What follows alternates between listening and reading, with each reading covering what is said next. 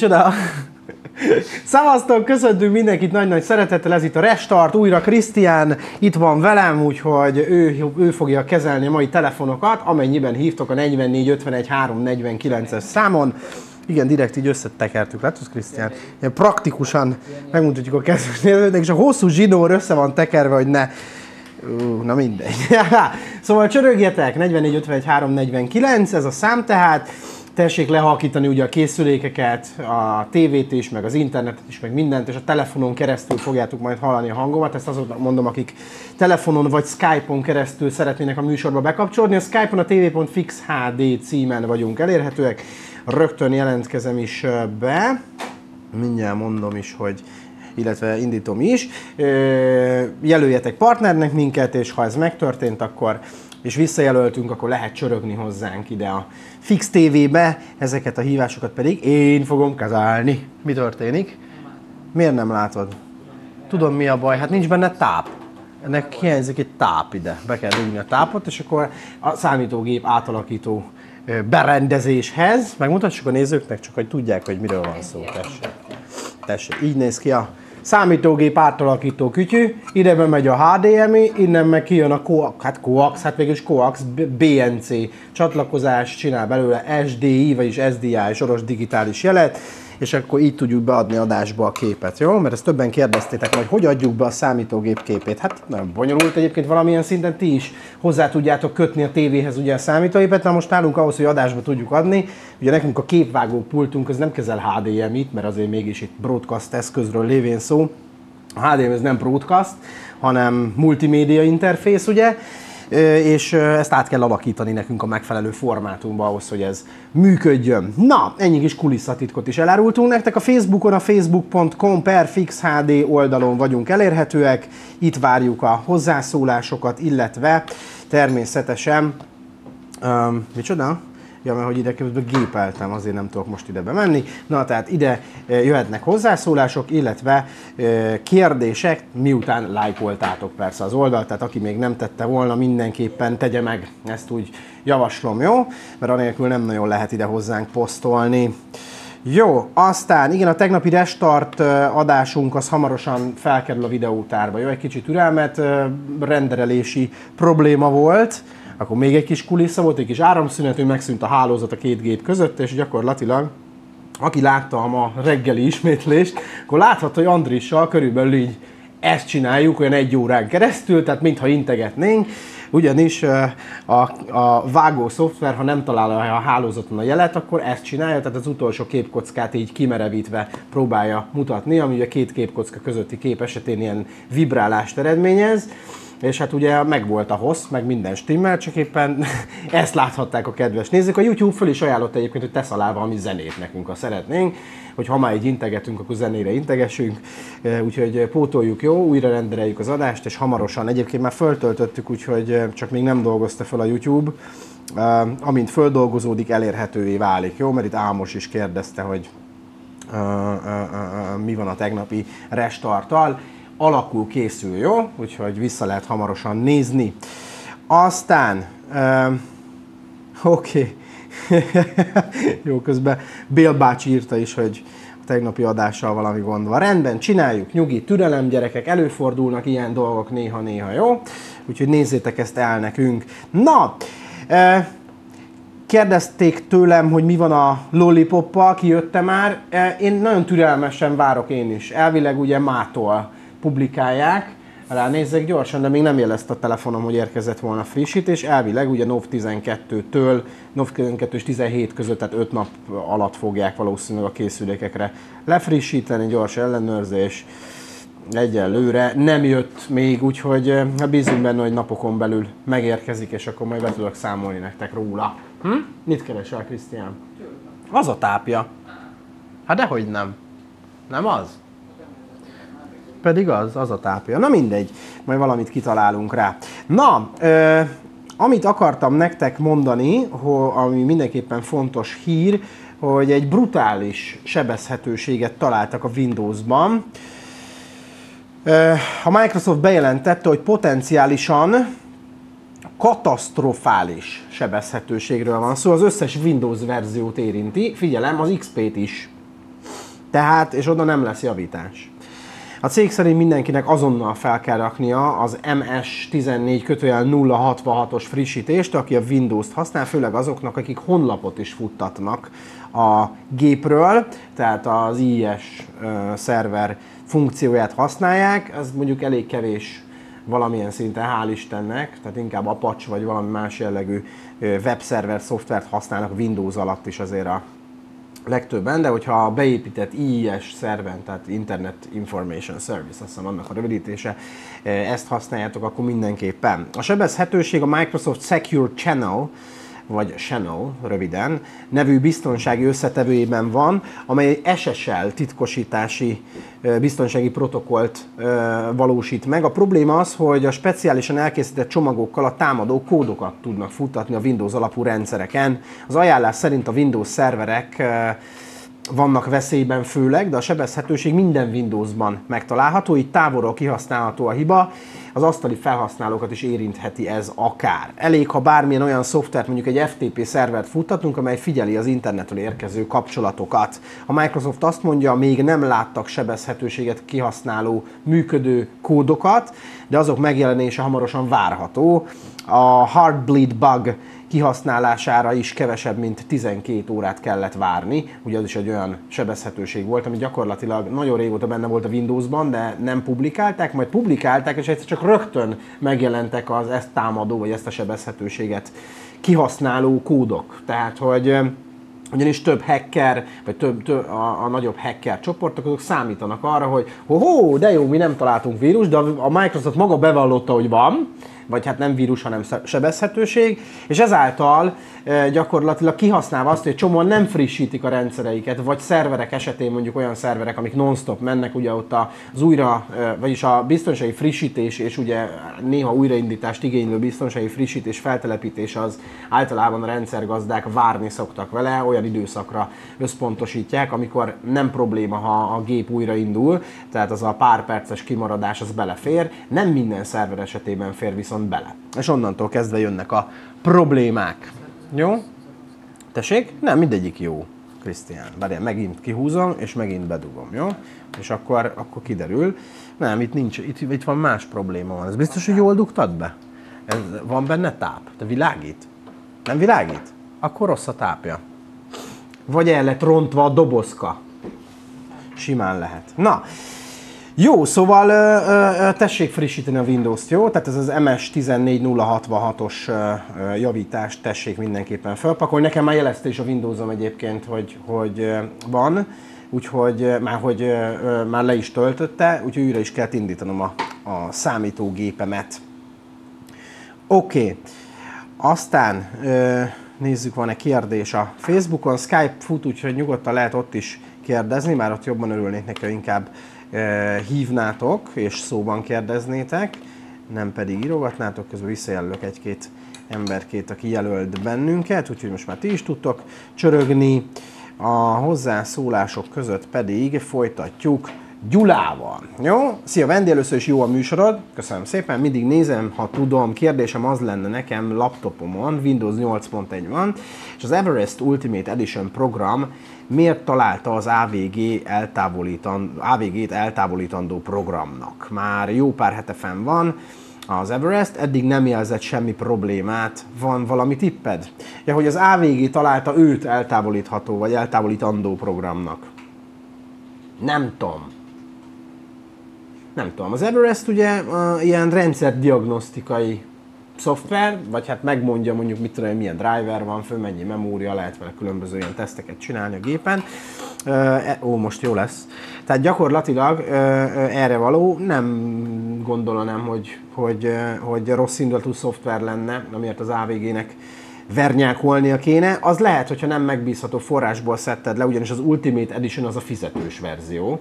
Tehát, hogyha neked valami crackelt verzió van esetleg, vagy, vagy, vagy valamilyen oldalról töltötted le, ahol egyébként lehet, hogy olyan verzió van fönt ebből, ami alapból nem csak próba verzió, akkor lehet, hogy esetleg valami kártevőt tartalmazhat, ezért szól az AVG.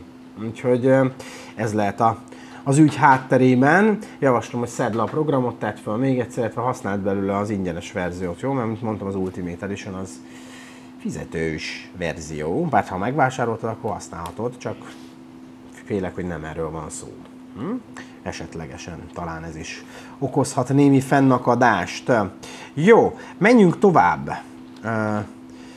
Van nekünk, kérem szépen, egy hírünk, ami még tegnapról való, méghozzá egy rejtélyes hangárt bérel a NASA-tól a Google. Méghozzá nem kevés pénzért, egy milliárd dollárért bérli ezt az épületet, amit látszik a hátam mögött gyakorlatilag. Hát ez úgy néz ki, mint egy űrhajó. nem? Tehát, vagy nem tudom. Mi gusztustalan, szerintem nem olyan rossz. Nem néz ki rosszul az épület, de hogy vajon miért van szükség egy ekkora hangára, még nem tudni milyen célból, de a Google egyik leányvállalata a közelmúltban hosszabb időre és igen tekintés összegért kibérelt egy speciális hangárt, illetve ahhoz kapcsolódó leszállópályát. Hm? Csak nem androidos repülőgépeket csinálnak, vagy androidos fedélzeti komputerrel ellátott repülőgépeket, illetve, hogyha a NASA-tól bérli, még az is lehet, hogy az űrkutatásba is beszáll a Google ilyesmi is lehet a cég, vagy a cég hátterében. A cég központjától központjához közeli légi bázisért a kereső óriás az elkövetkezendő 60 évben több mint 1,1 milliárd dollárt fog majd kifizetni az amerikai űrkutatási hivatal részére. Bár a hír hallatán gyorsan elindulnak a találgatások, hogy a Google talán beszáll valamilyen űrprogramba is, vagy hasonló egzotikus kutatásokra használja majd a hangárt, azonban elképzelhető, hogy a tranzakció hátterében egy ennél sokkal hétköznapi dolog áll. A szóban forgó repteret használják ugyanis évek óta a Google privát repülői le- és felszállásra, és simán lehetséges, hogy a cég gyakorlatilag csak ezek részére bérelte ki a területet. Tehát, hogy ott tárolja a repülőket, meg ott javítassa saját hatáskörön belül. Ennek ellenére biztosan az ügyben nem lehet tudni, amiről a NASA vonatkozó közleménye is csak annyit mond el, hogy milyen jó lesz a hivatalnak, mert így nem fog pénzébe kerülni a reptér fenntartása, sőt még a történelmi jelentőségű hangár felújítására is jutni fog pénz. A Google korábban már több repüléssel és űrkutatással kapcsolatos programba kapcsolatba hozható volt, internetes projekteket is bejelentett ezzel kapcsolatban, de egyelőre nem tudna, hogy ezeknek bármi köze is lehet-e ahhoz, hogy miért is bérelte ki ezt a hangárt. Hm? Na, úgyhogy lehet megint találgatni. Lehet, hogy már az ufók, lehet, hogy az ufók hozták létre az androidot, nem? Vagy valami, valami itt lehet a háttérben. Esetleg elindulhat a fantáziája egy-egy emberkének ez ügyben. Jó, tehát ez volt a, a, a második hírünk, ami mindenképpen érdekes. Tehát egyébként érdekes, hogy az ilyen nagy tech vállalatok, ugye tegnap pont az Apple uh, új főhadiszállásáról beszéltünk, ami egy ilyen UFO-szerű ugye képződmény lesz, egy ilyen UFO alakú épület, most pedig a NASA eh, hatáskörében, illetve a Google-ös, eh, vagy Google akár, akar bérelni ugye a NASA hatáskörébe tartozó hangárt. Na mi történik itt? Kiderül, hogy, hogy, eh, hogy valami, valami ufók és az okos telefonok között lehet, hogy van valami kapcsolat. Lehet, hogy már az ufók is figyelnek minket, nem? Tehát nem csak Obama és Obamánék nézegeti otthon a felhőn keresztül a, a családi fotóinkat, hanem lehet, hogy már a Marson is ezt nézik a marslakók. Hm? Jó. Na, hát menjünk tovább akkor. Tessék nyugodtan kérdezni ám. Jó, mert én mondok további híreket, de igazából az az igazság, hogy olyan túl sok érdekes hír nincs, csak ilyen, ilyen bulvárosabb jellegű hírek vannak. Tehát uh, én jobban örülnék neki, ha inkább kérdésekkel uh, foglalkoznánk.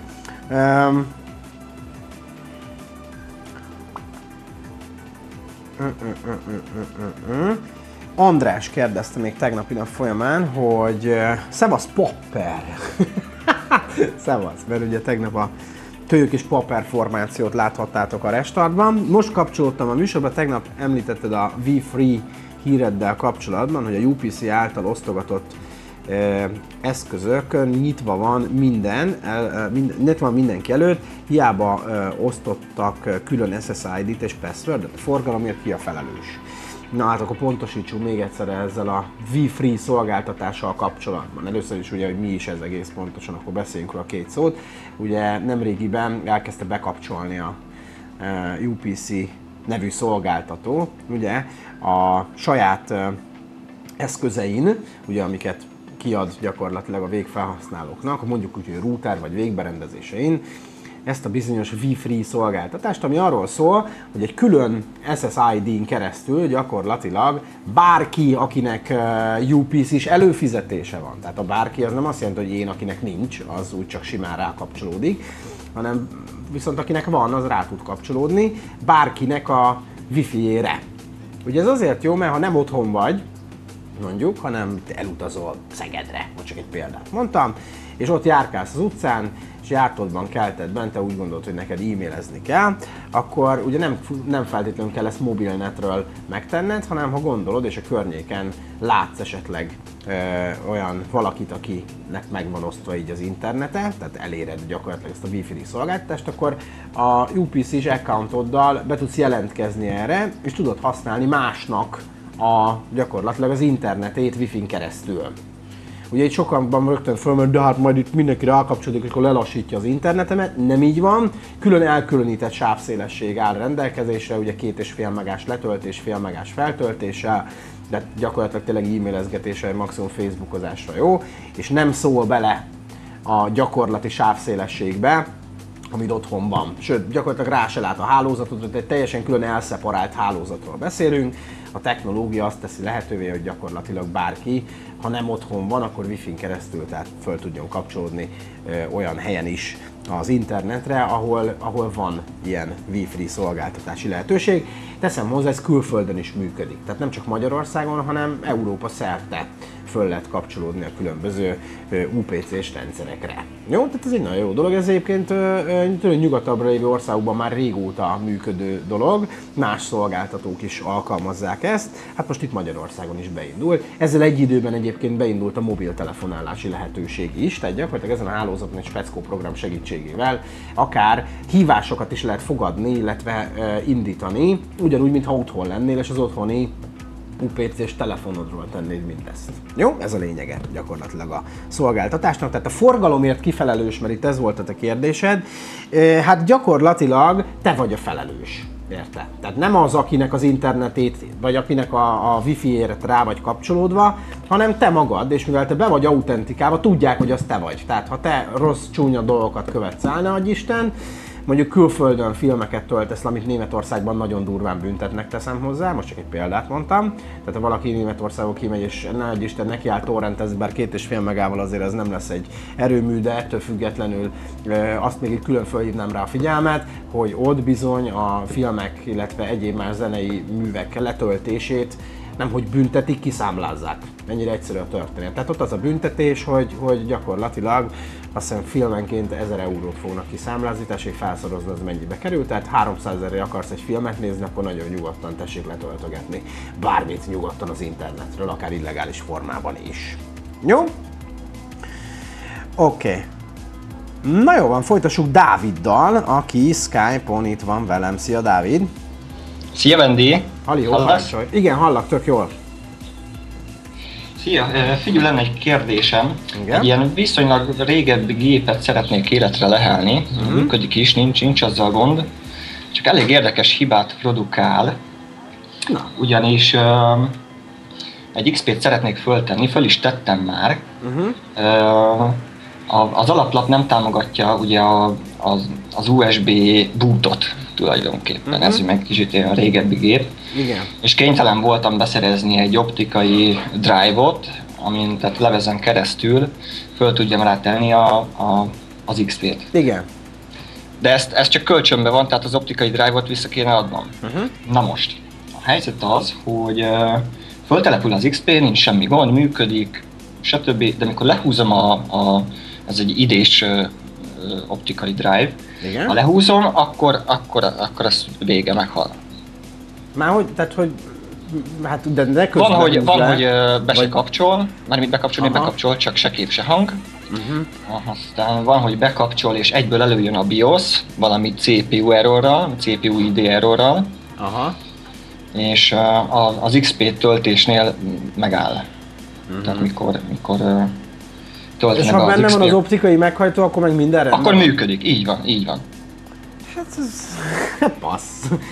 Ilyet nem igazán lát. Hát valami energiaelosztási probléma lesz. Hát azt próbáld meg, hogy a BIOS-ban uh, BIOS resetet csinálsz, illetve mondjuk, uh, hogyha nincs ott az optikai meghajtó, akkor mondjuk uh, a boot sequence se legyen benne, mert általában a régebbi BIOS-oknál attól függetlenül, hogy van-e optikai meghajtó, vagy nincs, ő azt úgy odaírja ettől függetlenül, és lehet, hogy a, amikor keresné, ezért vannak ezek a hibák. Tehát lehet, hogy ki kéne onnan teljesen szedni, nincs optikai meghajtó egyáltalán a gépbe. Uh-huh. BIOS-be ezt már letiltottam, és úgysem. Na, értem. És ezt, ezt csinálja. Hát figyelj, nem tudok hirtelenjében mire gondolni, tehát ez valami alaplapi gond lesz. De az is lehet, hogy valami kontakthiba, csak lehet, hogy meg kéne mozgatni kicsit a, a, a memóriákat, ilyesmit, aztán lehet, hogy ez az életre kell, mert tehát Ilyenről még nem hallottam, hogy olyanról hmm. pont, pont fordítottjáról már igen. Tehát, hogy ben van egy optikai meghajtó, és akkor hülyeségeket csinál a gép, ha lehúzod, akkor meg tök jól megy, de hogy fordítva, ez hogy lehet, ezt nem tudom. Uh-huh, értem. De hát régebbi gépeknél simán lehet valamilyen alaplapi probléma, vagy az előbb is mondtam, valamilyen energiaelosztási probléma. Tehát lehet, hogy, hogy amikor fönn van az optikai meghajtó, akkor pont olyan az eloszlása a, a, a tápnak mondjuk, illetve az energiának, hogy, hogy akkor úgy stabil és szeret működni a gép, amikor meg nincs rajta, akkor lehet, hogy instabil a, az energiaellátás, és ezért vannak ilyen gondok. Nem tudom. Aha, értem. És, és akkor ez a CPU ID hiba, amit itt írogat, szerinted uh-huh. ez, ez mennyire lehetséges, vagy ez, vagy ez mit takarhat? Hát, eh, ahogy a nevében is benne van valamilyen proci hiba, de tehát, hogy nem tudom ez mikor jön elő, tehát Igazából a proci az rendesen benne van a foglalata, nem melegszik, Igen. nincs vele gond ilyen szinten. Nincs vele gond, tehát mondom, uh-huh. működik ez csak ODD nélkül. Hát figyelj, nem megy. Hát. Még hirtelen, és hogyha vinyót esetleg átdugod másik ide ö, ö, portra, általában van kettő az ilyen gépekben, régebbiekben. Ezt már csináltam, tehát volt, volt primary master, secondary master, primary slave, secondary slave, már mindenhol volt. Aha. Hát ha csak egyedül van, akkor ugye primary masternek illik lenni a videónak. Igen, igen, igen. De hát úgyis ugyanazt produkálja. Uh-huh. Azt nem tudom. Tényleg, hát uh-huh. amiket mondtam, ezekre tudok így hirtelen gondolni, uh-huh. de ez érdekes. Érdekes dolog. Rendben, köszönöm szépen. Nincs vicc. Hello, hello, szia. No, megyünk tovább. Nyugodtan kérdezzetek. Azt mondja, hogy hogy kell megrútolni a telefonom, ezt kérdezi Ágoston László. Hát Laci, figyelj, vagy László Ágoston, nem tudom melyik nevedet használod, vagy melyik a keresztneved, melyik a vezetékneved. Tudjuk, fórumokban nézzél körül, légy szíves, mert nem, tehát én ezt most itt nem fogom tudni neked elmagyarázni, meg nem akarom amúgy sem, mert senkit nem szeretnék erre felbújtani, hiszen ez kapásból ugye Ugyan garancia vesztésen már nem jár, viszont tönkre lehet tenni vele egy telefont, tehát én biztos, hogy nem fogom itt elmagyarázni, hogy hogy lehet rútolni. Jó, tehát van egy jó pár weboldal, különböző fórumok, XDA Developers Forum például, ami nagyon sok ilyen mobilos firmware-rel, ilyesmivel foglalkozik. E, ott vannak szépen leírások, keressél rá szépen. Jó, telefont itt leírtad, hogy milyen típus, erre a típusra így szépen ezt írjad be, akár a Google-be, vagy akár ugye az imént említett XDA Developers fórumon, és uh, írd mellé egy root, és akkor ott el fogják magyarázni, 4-5 lépésből áll általában minimálisan egy ugye egy rútolás, tehát általában fel kell tenni egy úgynevezett recovery tools a telefonra, amivel egy belép, be tudsz lépni gyakorlatilag a saját bioszába a telefonnak, és ott egy másik firmware tudsz rárakni, hogyha esetleg ugye főzött firmware akarsz rárakni, ha csak rútolni akarod, akkor is módosítani kell a jelenlegi firmware hogy gyakorlatilag a rendszergazdi jogosultságokhoz jussál, tehát meg kell úgymond flashelni a firmware-t, és föl kell rakni a Super User nevű parancsot, ami egyébként letölthető a Google Play-ből most is, csak nem fogod tudni használni, nincs megrútolva a telefonod. Jó, ugyanis ez a program lesz alkalmas arra, hogy rútol, rútolt üzemmódba léptessen egy-egy szoftvert. Mert ugyanis attól függetlenül, megvan rútolva egy telefon, attól még nem minden rútként fut, mert az nagyon nagy biztonsági hiba lenne. Ugyanúgy fut, mint a minden oké okay lenne, csak bizonyos programok, amik rútjogokat kérnek, ez a super user, tehát SU ami egyébként egy Unixos parancs, ha így nézzük. Ő adja meg a jogosultságot ezeknek a szoftvereknek, hogy tényleg root jogosultsággal legyenek képesek futni. Jó, tehát így lehet ez, ez a rútolás folyamata, hogy pontosan hogy kell csinálni, mivel ez készülékenként eltérő lehet, meg úgy egyébként is mondom, én ebből nem szeretnék itt senkit, senkinek ezt megtanítani, mert nem, tényleg, mert félek, hogy utána majd az jön. De hát azt mondta a gyerek a tévében, hogy mint ahogy már így is van ilyen, betalálnak néha engem az utcán, vagy itt ott, ott bevásárlóközpontban, vagy azt mondta a tévében, hogy így kell, meg úgy kell, meg amúgy kell, de most itt van a telefonom, mutat, persze, először is számítógép kell hozzá, tehát csak úgy nem lehet magától megrútolni. A telefon, bár voltak egyébként erre vonatkozó hírek, régen egy-két készüléknél lehet letölteni olyan APK-t, amivel meg tudja csinálni a telefon önmagában a rútolást, de általában ezt számítógéphez kötve speciális parancsokkal, nem, nem annyira speciális, de le kell hozzá tölteni egy-két utility és azzal lehet gyakorlatilag megcsinálni. Nem olyan bonyolult, de mondom, én nem szeretnék, nem szeretnék ebből itt műsort csinálni, mert majd talán egyszer egy ilyen geek műsorba megcsináljuk, ha arról van szó, de tényleg mindenki csak a saját felelősségére. Jó, Danival folytatjuk. Szia Dani! Hello Wendy! Ja, Jó a műsor. Uh, igazából hallottam az előbb ezt a UPC-s uh, hírt. Uh-huh. Igazából másik fontázát is uh, látok benne, az, hogy uh, ha a UPC automatikusan képíti így a, a házakba ezt a, a végberendezést, és igazából nem ingyen wifi-t szórna, hanem megfelelő beregisztrált, meg esetleg ilyen előre elfizetett szerződés esetén bár, bármelyik házba be lehet jelentkezni az adott felhasználó, de csak egy helyen egyszerre, és igazából, hogyha valaki esetleg albéletet vált, akkor másik helyen bejelentkezik, és igazából nem kell átvitetni az eszközt, mert az UPC-be szerződés módosítgatni a lakáscímre, hanem csak egyszerűen csak átköltözik és tudja ott használni az előre megrendelt netet. Um, jó, amit mondasz, bár félek, hogy ez nem ilyen egyszerű szerintem, mert nekik az az érdek, hogy minél többen előfizessenek, ugye bár ez meg ugye ez egy plusz lehetőség, ami, meg hát most őszintén, tehát ez a két és fél megabit, ez tényleg arra, hogy az ember az e-mailjét megnézze, azért otthonra az ember inkább egy kicsit gyorsabb internetet szeretne szerintem, és nem csak wifi-n, ugye, hanem valószínűleg jobb, ha az kábelen jön. De értem, amit mondasz, az ötlet nem rossz, csak mondom, szerintem ez nem ilyen egyszerű. Tehát ezt szerződésben sok mindent meg lehetne csinálni technikailag. Az más kérdés, hogy, hogy mennyire áll érdekében a cégnek valóban ezt csinálni. Azt gondolom, hogy ez is egy jó húzás már. Aztán majd lehet, hogy lesz valami egyéb folyamánya is a dolgoknak. Mint mondtam már, van mobil szolgáltatás is, tehát nem csak netezni lehet, hanem elvileg például a telefont is át lehet valamilyen úton módon ugye ilyen VoIP rendszerrel tenni, tehát akár az okos telefonodra ki tud csörögni ugye a, a, az otthoni telefonot, tehát például ezt meg lehet csinálni, hogyha be vagy jelentkezve erre a hálózatra. Tehát például ez, ez is egy jó húzás valamilyen szinten. Hát igen. Az előző hozzászóló, akinek volt problémája a géppel, hogy CPU ID error ír ki, igazából szerintem egy autó load defaultot kéne nyomni a mhm. BIOS-ba, meg lehet, hogy egy elemcsere megoldaná a problémát. Hogyha uh-huh. ez sem megoldás, akkor meg kéne nézni a régi gépén, hogy nincs -e véletlenül pupos kondenzátor benne, mert az is okozhat ilyen elektromos zavarokat. Uh-huh. Hát igen, én is ezt mondtam, hogy valami energiaelosztási probléma van, és amikor rá van dugva mondjuk egy plusz eszköz, lehet, hogy egyébként rá kéne dugni akár egy plusz eszköz, csak mit ér, hogyha úgyis régi gépről van szó, van ebben a floppy-be, van-e kötve, vagy akár szerezni ki. Amúgy is se ártana, ezt én mondani is akartam, csak nem mondtam, hogy, hogy ugye kölcsönkért optikai meghajtó volt, szóval az úgy amúgy se árt egy gépbe, hogyha van szerintem, nem? Tehát bármikor később is, ha újra kell rakni a Windows-t, vagy bármit telepíteni akar lemezről, akkor most mindig kölcsön fogja kérni. 3-4 ezer forintért lehet egy optikai meghajtót venni, szerintem érdemes lenne ennyit beruházni, hogyha a számítógép viszont alapból működőképes. Tehát és hát, akkor lehet, hogy hát, megvan oldva, bár félek, hogyha ilyen hibákat produkál, akkor idővel többet is fog. Úgyhogy igen, én is erre gyanakszom, hogy régi, és ott valószínűleg valami alaplapi probléma van. Igazából lehet meg tápegységellátás Vagy táp, igen. Igen, hát táp. attól függ, milyen régi gépről beszélünk, uh-huh. mert lehet, hogy magából egy új optikai meghajtó drágább lenne, mint annak a régi gépnek a jelenlegi ára.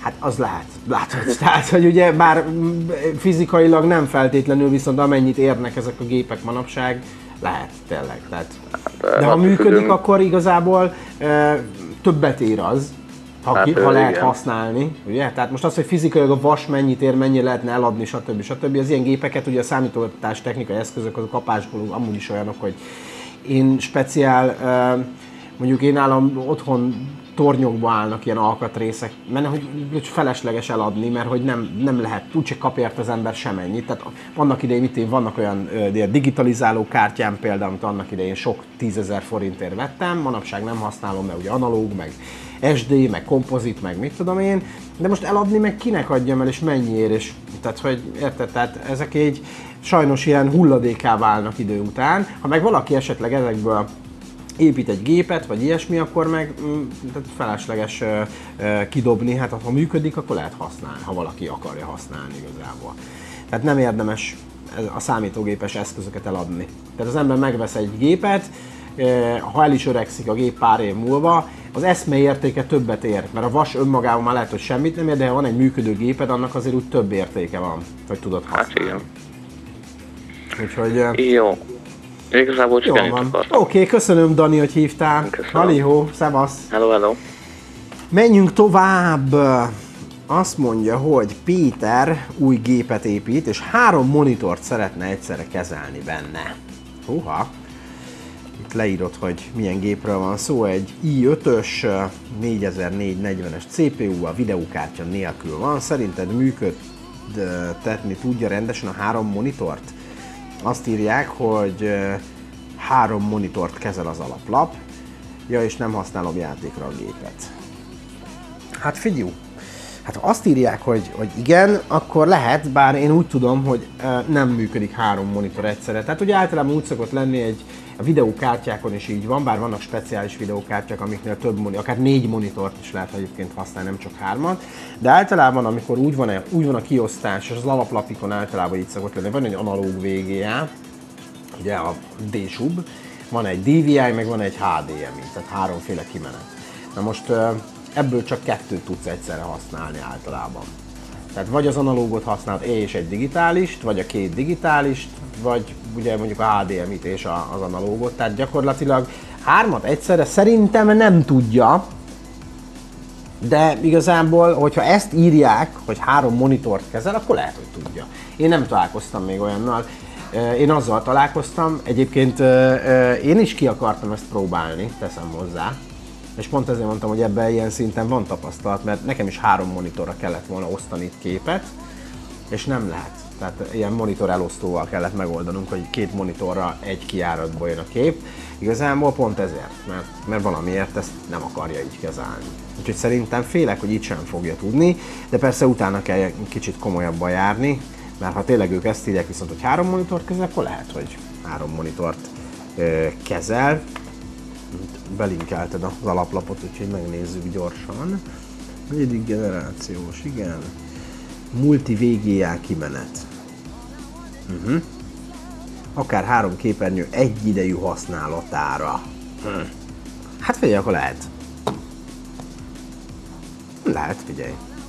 Ha így írja, akkor elképzelhető. Jó, de azért ennek utána kéne jobban nézni szerintem, jó? Tehát mert most az, hogy miket írogatnak egy-egy ilyen technikai leírásban bizonyos oldalak, ez még önmagában nem feltétlenül biztos, hogy tényleg így is van. Jó? Na, Mikivel folytatjuk. Szántai Mikivel, aki itt van velem Skype-on. Szia Miki! Szia! Abban szeretnék segíteni az Everestes problémával megoldást, uh-huh. hogy Figyelünk! Hogy a, az Everestnél én észrevettem több javítás alkalmával, hogy a 2010 után levő, 2010 október körüli Everestet elfogadja bármilyen. Uh-huh. Figyelünk! Halló! Igen, itt vagyok. Na. Szóval nem mindegy, hogy az ember honnan szedi le az Everestet, és melyik kulcsal illeszti be. Na igen. Tehát ugye az a kulcsos illesztés, az már alapból rosszul kezdődik egyébként, tehát ugye ilyeneket ne is mondjunk, tehát egy fizetős programot azt meg kell venni, ahol az ember kap licenszkódot, és akkor azzal kell használni. Tehát, ha Igen, valami... csak e-mail címre is, én már jártam úgy négy évvel ezelőtt, hogy uh-huh. rossz kulcsot kaptam, és a harmadik volt jó. Aha. Nem lehet, hogy csak ilyen verzió probléma volt, hogy esetleg... Nem, nem, nem, nem, nem. Éppen ezt akartam mondani ezzel, hogy 2010 október uh-huh. körüliek, az már jó. Aha. Ott már elfogad bármit. Uh-huh. Jó. Okay. A másik, amit szeretnék észrevételezni, hogy ez a UPC-nek ez a sávszélesség problémánál felvetődött egy olyan gondolat, hogy mi van akkor, hogyha az embernek olyan otthoni munkája van, aminél gyakorlatilag adatforgalom megosztás, vagyis egy bizonyos részét a munkájának otthon csinálja, egy bizonyos részét a munkáján, uh-huh. akkor az hogy dönti el a, Igen. a maga a szolgáltató, hogy tudja kiszűrni szűrés alapon, hogy akkor mennyi az adatforgalom és mennyit fizet és kifizetni. Nem kell adatforgalom után fizetni. Tehát akkor itt félreértése nem kell adatforgalom után fizetni, hanem ugye itt arról van szó, hogy az otthoni internetedhez más UPC előfizető is hozzá tud kapcsolódni. Ugye természetesen csak azzal a végberendezéssel, amit a szolgáltató ad. Ugye ebben van egy ilyen lehetőség, és itt nem kell a forgalom után fizetni ettől még pluszban. Értem, azért kérdezem, hogy ha mondjuk ilyen dolog van, és azt az ember előre le, le, leszögezi szerződésben, uh-huh. akkor eleve kizárhat esetleg később bármilyen más hibát. Igen. Igen, igen, igen, illetve gyakorlatilag, ha nem, valakinek ez nem tetszik, hogy az ő routeréhez hozzá kapcsolódik, akkor ezt le lehet tiltani. Tehát ezt nem lehet, tehát ki lehet kapcsoltatni a szolgáltatónál, viszont akkor ő sem fog tudni kapcsolódni más routeréhez. Tehát ez ezzel jár. Tehát, hogyha te letiltod a saját routeredben ezt a szolgáltatást, hogy más hozzá kapcsolódjon, akkor te sem fogsz tudni máséhoz hozzá kapcsolódni. Ennyi, ami... Ja jó, mert, mert gyakorlatilag ezt a részét meg annyira részletesen még nem olvastam át több oldalon, mert uh-huh sok hülyeséget is írnak a neten, nem kell Persze, persze, elhívni. én is ezt így hírértékkel mondtam, csak meg én itt nem akarok gyakorlatilag, már napok óta foglalkozunk ezzel, én nem akarom ezt itt feltétlenül reklámozni, csak az ötlet jó, úgyhogy követendő. Igen, van benne reakció, amit Abszolút. igazándiból nagyon jó ki lehetne használni, uh-huh. több oldalról. Igen. Úgyhogy hát bízunk benne, hogy jól meg fogják csinálni.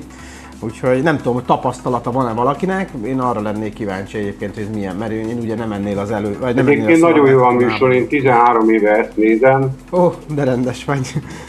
Még a kezdetek óta is, és, és az egyik legjobb műsor, mert bármivel kapcsolatban az ember csak tapasztalatot nyer. Na hát, örülünk, hogyha segíthetünk. Előbb-utóbb így is úgy is részt lehet venni. Persze. Jó van, Miki. Köszönöm szépen. Hello, hello. Köszi, hogy hívtál. Menjünk tovább. Ki? István hívod. István csöröghetsz most, jó? Mert egyszerre csak egy ember tudunk bekapcsolni, és itt is van már István, úgyhogy vele folytatjuk. Halihó, szevasz! Halló, szevasz! Parancsolj! István vagyok. Szia István! Az lenne én nekem a gondom, hogy, hogy hát vettem én egy web kamerát, uh-huh és... Igen, látunk is egyébként, úgyhogy... Működik így. Na. De az asztalon nincs kint arancsikon, nem rakott ki, uh-huh. meg a programfájlokba se lehet találni, meg a saját gépbe sincs meg. Tehát magába meg se tudom nyitni, csak így, a Skype-ot. Uh-huh. Hogy ez, ugyanezt a kamerát én áttettem egy XP-s gépembe, uh-huh. ott, ott ott, hogyha megnézem a saját gépet, igen. A legfelső sorban ott van a merevlemez meghajtók, alatta van a cserélhető adathordozós. Igen, és eszközökként. És az alatt ott van az, hogy hát ez a web kamera, és úgy meg meg lehet nyitni. De uh-huh. itt nekem ez, ezen a gépen Windows 7 van, uh-huh. ezen meg nincs. Igen, ez uh, Hát ugye másképp kezeli a Windows 7 ugye már a, a webkamerákat, tehát más eszközként ismeri fel, mint annak idején az XPS driver kérdése igazából. De hát mire akarod használni? Tehát ugye itt alapvetően egy webkamerát arra használ az ember, például most, hogy Skype-on keresztül használod, vagy esetleg valamilyen digitalizáló szoftverrel esetleg, mint videó rögzítő használatod, de önmagában mire akarna az ember egy webkamerát használni? Tehát ilyen utility biztos vannak, esetleg a webkamera gyártó oldalára kéne földézni, ott lehet, hogy le lehet tölteni hozzá valami szoftvert, amivel lehet akár, mit tudom én, ilyen plusz effekteket rátenni, vagy ilyesmit, ilyeneket biztos lehet találni szerintem az oldalon. Igen, ez különbség az XP és a Windows 7 között, hogy a multimédiás kezelése az kicsit másképpen működik. Volt én nekem régebben is egy kamerám, és uh-huh. én a fényképet készítettem. Na. Hogy közvetlenül képbe. Aha. Hát azt lehet, hogy most is tudsz, azt hiszem, hogy ha valahol az, az, ott van az, csak nem tudod így megnyitni külön, hanem talán a, a szkennerként ismeri fel, vagy nem tudom, valahogy így, hogyha a szkennereket keresed meg, akkor hogyha olyan, mint a szkennelnél, tehát abba a, a funkcióba kell bemenni, csak mert nagyon rég csináltam ilyet Windows 7-nél, és szerintem ott látni fogja, és akkor úgy tudsz vele talán fényképeket csinálni. Olyan helyen van meg, hogy eszközök és nyomtatók. Uh-huh. Ott már... Hát a, gyakorlatilag igen, hát a szkenner is azok között kéne, hogy legyen. Csak mondom, ez driver kérdése, tehát nem mindegyiket, többféleképpen lehet kezelni ugye egy webkamerát, tehát van amelyiket így kezeli, tehát működik szkennerként, és van amelyiket meg nem engedi szkennerként kezelni, az pedig csak és kizárólag ilyen szoftverekkel, mint például a Skype, vagy bármilyen más videótelefon szoftver, ilyenekkel fogod tudni ö, használni. Vagy, ahogy az előbb is mondtam, utility-t, ha leszedsz a gyártó oldaláról, akkor elvileg azzal tudod használni. Jó? Mert itt, hogyha rá kattintok jobb gomba, akkor először parancsikon létrehozáson, aztán hiba elhárítás és tulajdonságok. Itt mm. sincsen meg. E, igen, mert mondom, tehát ezt nem lehet csak így hozzáadni nyomtatóként, mert ugye ez nem nyomtató, ez pont beviteli eszköz, a nyomtató meg pont kimeneti eszköz. E, ez mondom az XP-ben másképp volt kezelve, ott ezek az ilyen device-ok vagy e, eszközök ezek egyben voltak kezelve, ott lehet, hogy ezért látszódott. Bemeneti eszközként de azért valahol ott kell lenni a Windows 7-ben is, csak mondom ezt így kimondta, hogy rákattintasz, és akkor ott lehet képeket lopni vele, azt, azt igen, azt valóban nem lehet egyébként már ezekkel a mai, vagyis a Windows 7-en belül. Ehhez, ehhez vannak utility tehát a gyártó oldaláról, vagy lehet, hogy kaptál hozzá telepítő lemezt, azon is lehet, hogy van hozzá Nem, szoftver. nem kaptam. Nem kaptál. Akkor viszont a gyártó oldalán kell körbenézni. A, mert amikor bedugtam amúgy a, a kábelt a gépbe, az USB-t, hmm akkor rögtön ö, ö, letöltötte az illesztő Igen. hozzá, és akkor nem sokára kiírta az óra mellé, hogy az eszköz használatra kész. Uh-huh. Na hát igen, tehát De, az a driver az, hogy... volt gyakorlatilag, hát az csak annyi, hogy működőképes a kamera, mint ahogy most is látjuk, hogy Skype-on Igen. keresztül működik. Tehát ez program kell. XP-ben ez meg volt oldva, Windows 7-ben ez nincs megoldva. Hát. Jó? Nem olyan régóta van Windows 7 úgyhogy uh-huh. nem tudtam, hogy ez így működik. Kicsit más, igen, ott tehát, sőt, örül neki, hogy megy egyáltalán, mert régebbi kameráknál még olyan probléma is volt, hogy legalábbis nekem is tapasztalatom volt egy régi, régi webkamera, ami XP alatt tök jól ment, Windows 7 alatt meg nincs hozzá driver, tehát nem is nagyon lehetett életre kelteni. Van, ami már Windows 7 kompatibilis, amihez van driver, azokat Windows 7 alatt is lehet használni. Egyébként ugyanez a probléma a Windows 8-nál is, meg a Windows 10-nél is. Általában a multimédiás eszközök azok, amikkel ilyen driver problémák miatt néha frissítgetni kell azokat is, tehát hogy újat kell belőle venni. De hát bízunk benne, hogy van hozzá driver, úgyhogy működik. Jó? Jó. Na, köszönöm, hogy hívtál, megyünk tovább, jó? szépen. Hello, hello, szia! No kérem szépen, nézzük mi van itt még nekünk, van még bőven időnk, úgyhogy nyugodtan tessék csörögni. Azt mondja, hogy Józsival folytatjuk akkor, aki Skype-on van itt velem. Halihó, szia! Halló, halló! Szia! Szia, parancsolj!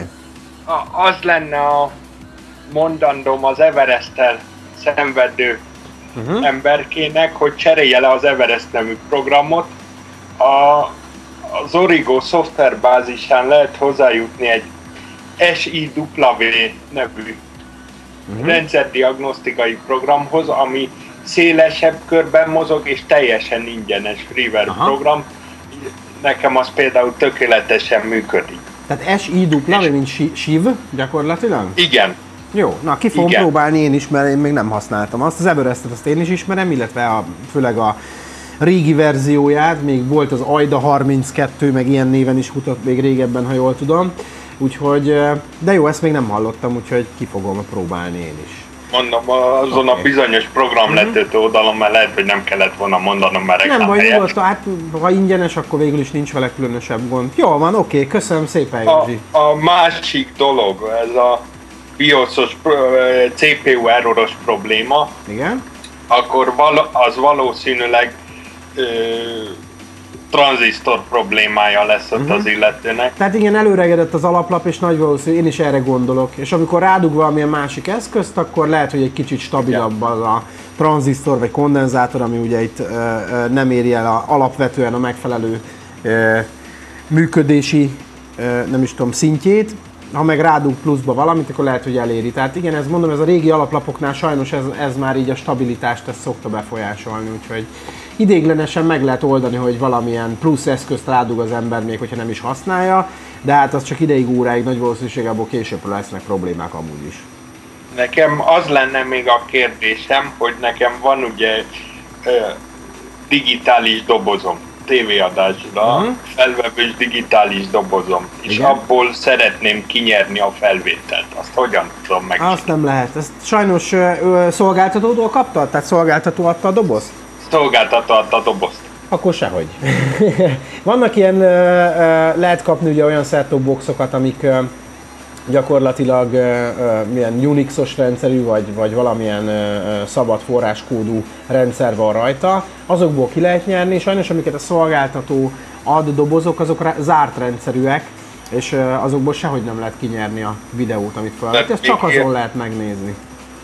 Tehát még úgyse, ha mondjuk a TV képernyőt én átsugározom a monitorra? Hát úgy ki lehet, hát hogyha ha valamilyen úton módon utólag digitalizálod a képet, akkor igen. De ugye itt arra van szó, hogy amikor felveszel egy tévéadást, akkor ott annak a doboznak, tehát a set boxnak a merev lemezére kerül igen, rögzítésre egy fájlba. Na Csak... most ahhoz a fájlhoz nem tudsz hozzáférni, de azt a videót te kiátszod, akár a set boxnak egyébként vannak videó kimenetei, ugye, vagy HDMI, vagy valamilyen analóg Igen. kimenet, ha azt bekötöd egy digitalizáló kártyába és felveszed, ezt meg tudod csinálni, úgy, meg, úgy ki tudod nyerni belőle, csak ugye az gyakorlatilag nem maga a fájl, amit kinyersz, hanem gyakorlatilag olyan, mint a felvennél egy, a tévéből egy ö, ö, ö, filmet, vagy valamit ugye egy külső eszközre. Úgy meg lehet oldani. A harmadik dolog, nekem vannak tapasztalataim a három betű szolgáltatónak a uh-huh. újonnan bevezetett szolgáltatásáról. Na. Igen. Egészen jól működik, azt uh-huh. kell, hogy mondjam. Tehát, Tehát próbáltad úgy, hogy máshol mentél, mint a városba máshol mentél, és ahol volt lefedettség, ott rákapcsolódtál, és Tehát, jól tudtad használni. Itt, ha itthon voltam. Ja, itthon, aha. Ta, tolószékhez vagyok kötve. Ja, értem. Uh-huh. És kíváncsiságból lekapcsoltam a gépet és kipróbáltam a szolgáltatást, egész uh-huh. jól mhm. működik. Uh-huh. Na. Csak még vannak ilyen kihagyásai a dolognak. Uh-huh. Hát ugye az betudható lehet, hogy a wifi-nek is egyébként, tehát azért ezt ne felejtsük el, hogy itt rádió hullámról van szó, tehát nem arról szól a történet, hogy az ember kilógatja az ablakon a kábelt, és akkor bárki rádughatja a számítógépet, hanem ugye rádió hullámon keresztül működik, tehát ott azért sok minden befolyásolhatja, ahogy az otthoni wifi berendezéseket is ugye sok minden befolyásolja, tehát más szomszéd wifi-e, vagy ha valaki társasházból, akik ugye ott nagyon sok wifi lehet, tehát ott is lehetnek ilyen jellegű problémák, lehet, hogy ez is befolyásolja azt, hogy esetleg kicsit lassabb a történet. Egyébként pont ott lakom, társasházban. Na hát akkor ugye lehet, hogy nálad is. Én ezt úgy szoktam hívni, hogy wifi szennyezettség, ugye? Tehát, hogy annyi wifi uh, router van a környéken, hogy, hogy nehéz olyan szabad frekvenciát találni, ami stabilan lehet használni az embernek. Ugye, Nem lehet, hogy az volt a bajom. Uh-huh. Még egy kérdésem közben eszembe jutott, uh-huh. hogy van nekem egy androidos táblagépem. Igen? És van egy weblap, ahol szeretnék online streamet nézni, uh-huh. csak az a online stream ugye flash videóra van optimalizálva. Igen. Azt valahogy meg lehet oldani, vagy ez is halott dolog, mint Hát a... ne, alap, alapesetben halott dolog, mert ugye Android alatt nincs flash már. Régebben volt, bizonyos gyártók egy ideig benne is hagyták a saját böngészőjükben a flash támogatást, de alapvetően már nincs flash támogatás. Tehát ha csak nincs megoldva, vagy nincs mobilos platformja annak a weboldalnak, ahonnan szeretnéd ezt nézni, és nem oldják meg ezt szerver szinten, hogy valamilyen HTML5-ös megoldással lehessen videókat nézni, akkor alapesetben nem lehet. Na most lehet találni egyébként a, a Google Play-ben olyan böngészőket, ami támogatja a Flash-t, most itt hirtelen nem tudok neked nevet mondani, talán a Dolphin Browser mintha támogatná egyébként valamelyik verziója, viszont nagyon lassú lesz, ezt most mondom. Tehát egyszerűen olyan szinten fogja az erőforrásokat, hogy Tehát nekem egy négy magos telefon, igen, négy magos telefonon olyan lassúak a flash videók azzal a böngészővel, hogy gyakorlatilag akadozik a videó. Tehát, hogy ugyan lejátsza a flash, de hát nagyon-nagyon megfogja az eszköz. Nekem mondjuk ezen így gondolom, mert Lumián van, tehát uh-huh. egy 8-ason van. Én azt gondolom, hogy ott sincsen, ö, ö, vagyis Windows alatt, Windows Phone-on sincs flash támogatása, jól tudom. Tehát az egyébként sehol nincs már. Androidon egy ideig volt, de szerintem... Ö, a Windows Phone-on van. Van flash támogatás Windows Phone-on? Nekem legalábbis működik. Aha. Lehet, nem tudom. Én úgy tudom, hogy nincs már ott sem. Tehát az is lehet, hogy akkor egy olyan verzió, ami régebben lehet, hogy akkor ott is volt. Én úgy tudom, az új Windows phone szintén nincs már, de lehet, hogy van, ezt majd ennek utána. Nekem 8.1-es van most felrakva. Uh-huh. És azon megy. Akkor lehet, hogy azon mégis működik. Az biztos, hogy iOS, illetve Android rendszeren nem működik. Az, azt tudom, de tehát lehet, hogy vissza, nem emlékszem arra, hogy vajon visszaputítottam, tehát e, a 8.1-nek a flash verzió, tehát hogy fölismeri, mert nekem működik. Na, na hát akkor örülnék. Az is lehet egyébként, hogy táblagépen ö, ö, működik. Szerintem telefon, nem tudom. Én úgy tudom, hogy nem, de lehet, hogy aztán van, van olyan verzió, vagy van olyan böngésző ott is, ami esetleg ezt külön támogatja. És ott mondjuk lehet, hogy a gyártó alapböngészője lehet, hogy támogatja. Jó van, oké. Okay. Köszönöm ja. szépen Józsi, Én megyünk köszönöm. tovább, jó, mert még nagyon sok hívónk Én van, köszönöm. és a műsoridőnk ja. meg vége. Szia. szia, szia, köszi, hogy hívtál. És nagyon gyorsan Gabival uh, folytatjuk. Szia Gabi! Halló, halló! Szia Vendi! Szia, parancsolj! Nos, hát örömmel számolok belóra, hogy tudod, beszéltünk róla, hogy az új laptop és hogy majd beállítgatás, és kérdeztem Igen. tőled, hogy itt a csempés kezdő képernyőnek ezt a gyönyörű iskolakék színét hogy tudom átállítani, uh-huh. és nem tudtuk akkor hirtelen megfejteni. Hát józan Igen. paraszti észre rájöttem, totál egyszerű, amikor uh-huh. ugye ide oldalra húzom az egeret, nekem megjelenik itt négy ilyen kis helyes csótány méretű ikon, aminek Igen az, az egyik ugye a beállítások, és ha abba bemegyek, akkor személyre szabás, és abban a mhm. pillanatban szint tudsz választani, meg még Na. ilyen háttérmintákat is. Hát jó, Úgyhogy hát- megfejtődött a jó, dolog. Hát, igen. Nem is gondoltuk, hogy ennyire egyszerű, hát, mert itt próbáltunk valami logikus, bár ugye én nem vagy Windows 8-at igazából ha, két napig használtam. Tehát megvettem és két napig használtam. Ez Windows 10. Tehát, gyakorlatilag igen, ugye Windows 10 meg már nincs ilyen. Tehát, hogy, igen, hogy, igen. Most vannak a rendszert, majd ki is vették belőle azzal a lendülettel, tehát hogy igen, te ilyen szerencsés vagy, hogy itt rögtön átállhattál erre az új verzióra. No, viszont ezzel a géppel kapcsolatban egy nagyon gyors kérdésem, hogy ez most egy 216-os processzor, ugye, ami uh-huh. előtte nálam volt egy egész hétig, az egy 186-os proci volt, uh-huh. és azt éreztem gyorsabbnak. Ez függhet az operációs rendszeremtől, vagy ugye meséltem neked, hogy itt valami hihetetlen 40 valahányféle alkalmazást fölpakoltak nekem erre a gépre. Ez ennyire belassítja, mert böngészgetek, belassul, mondjuk ha fölmegyek akár egy Facebookra, akár egy híroldalra, egyszerűen nem görög olyan ö, könnyedséggel, mint mondjuk a gyengébb procinál, uh-huh. amin alig voltak programok. Lehet. Tehát ha külön futnak is ezek a programok, tehát nem csak, hogy föl van téve, hanem a háttérben tényleg fut is, akkor uh-huh. fogja a gépet valamennyire, ez tény és való. Tehát, uh-huh. hogy uh-huh. ettől lehet. Kevesebb memória áll rendelkezésre, plusz ugye a háttérben ott fogja, lehet vírusírtó, stb. stb. Tehát sok minden lehet igazából. Hát az a 300 MHz önmagában nem kéne, hogy olyan látható különbséget, tehát nem, nem kéne, hogy olyan látható különbség legyen a kettő között. Én inkább a programokra gyanakszom, igen. Tehát azért 40 előre telepített alkalmazás, ami ki tudja milyenek, mennyire fogják pluszba a gépet, az simán lehet, hogy az lassítja inkább. Rettenet mennyiség, és próbáltam megnézegetni őket. Uh-huh. Három vagy négy ö, program, ami szinte hasonló. Tehát miért kell nekem egy Movie Maker mellé még három ugyanolyan ö, CD meg DVD író program? Tehát eleve benne van a Windows Media Player. Miért kell még négy különböző másik ugyanolyan, csak másképp Van egy, egy gyártó, és... aki ezt csinálja, sajnos. Ez nem tudsz mit csinálni. Egyébként a, a, na, szinte az összes gyártó ezt csinálja. Telepakolják mindenféle programmal, kétféle vírusírtó, háromféle internet security, egyik sem, ö, ö, ö, hogy mondjam, tehát egyik sem végleges verzió ráadásul, hanem te egy idő után kírja, hogy fizess érte, tehát ugye 30 napig ingyenes, utána meg fizess érte. Tegnap a McAfee már kiírta, Na, hogy van hát még nem mondom, tudom hány ezeket nagyon szeretjük.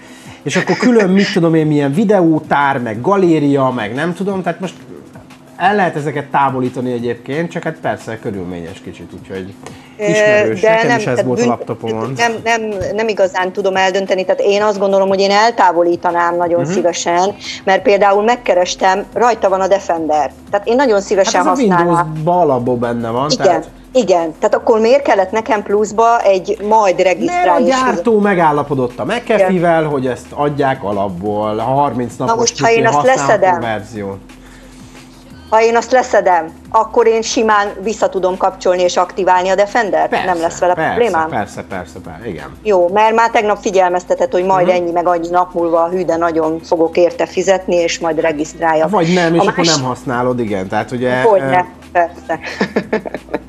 Nos, meg van egy olyan kérdésem, ugye én ennek marhára örültem, hogy ennek ugye van eszközök és meghajtókban három különböző, annak csak egy volt az, els, az előzőnek, a DVD meghajtón kívül, nekem az csak cém volt. Uh-huh. Itt van cém meg dém, uh-huh. ami nagyon jól hangzik, viszont az összes minden Windows alkalmazásom csak a cén van, alig uh-huh. foglal el még helyet, de a dém Uh-huh. az egy elég vicces verzió, mert a 16,2 gigából csak 1,57 a szabad, és ha én ezt megnyitom, akkor ö, ö, recovery címszó igen, alatt. Igen, igen, igen, ja, ja. Na, az, az, az, az, az, az a recovery partíció, tehát az gyakorlatilag arra van, oda nem nyúkálunk abba bele, az arra van, nem hogyha, tehát onnan véletlenül se törölj meg ilyenek, az, a, onnan állítja vissza a rendszert, ha gond van.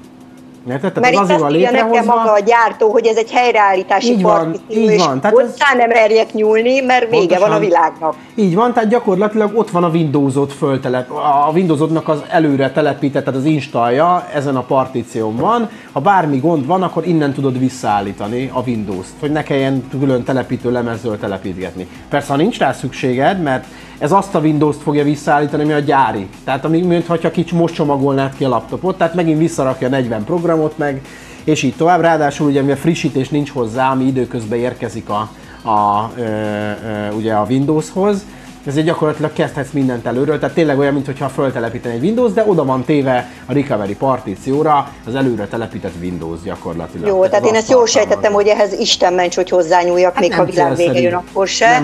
És akkor ez itt nekem mindenféléket helyre tud majd állítani, de utána hmm. már tudni fogom, hogy mi az, amit alapból ki kell igen. Jó, oké, köszönöm szépen, most egyelőre ennyi, mert látom, okay. kifutunk az időből, majd még jelentkezem. Köszönöm. Rendben, köszi Gabi, halihó, szia.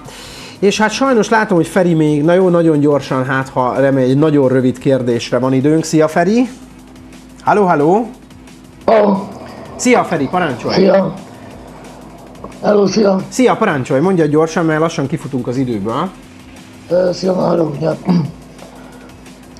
Na? Azt szeretném kérdezni, hogy van egy AM2-es platformon. Igen? Mondjad, mondjad, mondjad, és mondom, kifutunk a, a RAM-ban van gondom, 400 MHz-en működik. A RAM? Tehát a memória? És igen, kétszer, igen, igen. Igen? Az a baj, hogy késik a hang egy csomó. Igen, mondtam is, hogy egyébként a műsor elején is, meg minden adásban elmondom, hogy tessék lealakítani a tévét, meg az, a Sky, az internetet, csak a Skype-on keresztül hallgass, ott real-time-nak kell lenni a hangnak. A, Sky, a Skype-on hallgatok. És ott késik? Az érdekes. Igen. Jó, Feri, figyelj, csináljuk azt, hogy holnap hív vissza, jó, meg kifutunk a műsoridőből, vagy írd meg nekem a Facebookon keresztül a kérdést, és akkor válaszolok majd rá, jó? Csak tényleg le, le kell zárnom a műsort, jó? Úgyhogy szia, ne haragudj, és köszönöm szépen mindenkinek a figyelmet, eddig tartott a mai restart, holnap folytatjuk, úgyhogy 5 órától várok mindenkit a TV képernyők elé újra. Szevasztok!